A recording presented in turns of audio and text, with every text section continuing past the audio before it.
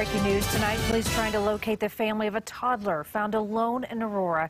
This young boy was found in the 1800 block of North Billings. Call police if you know anything about this young boy. Please call police. And now to a weather alert.